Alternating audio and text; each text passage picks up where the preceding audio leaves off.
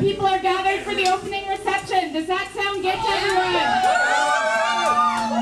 So, next we have Kevin Yates from Vandu, and Vandu helped organize this march with the Social Housing Alliance tonight. So let's hear it for Vandu.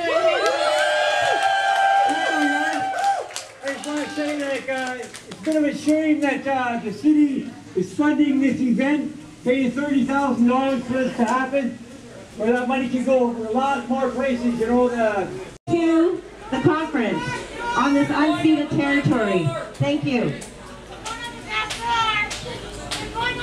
Okay.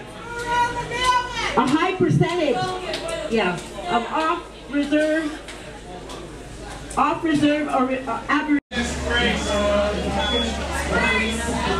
I hope you guys will let me back in because I'm a conference participant.